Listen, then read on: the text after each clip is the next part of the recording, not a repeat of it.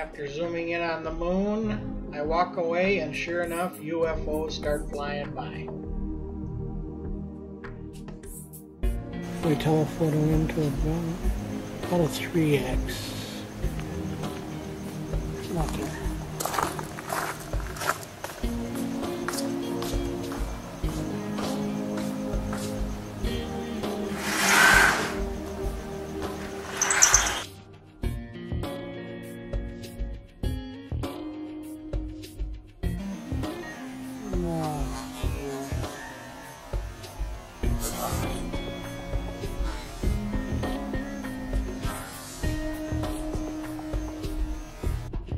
These are some of the still frame images of the two objects that went by.